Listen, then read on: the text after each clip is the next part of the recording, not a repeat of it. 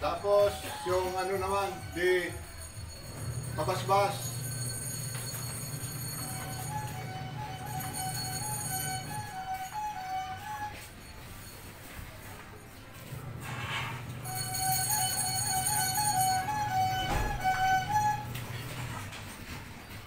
Now we will combine the combination of kabasbas and the uh.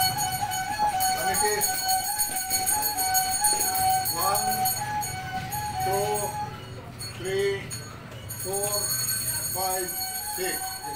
One, two, three, four, five, six. So just like this.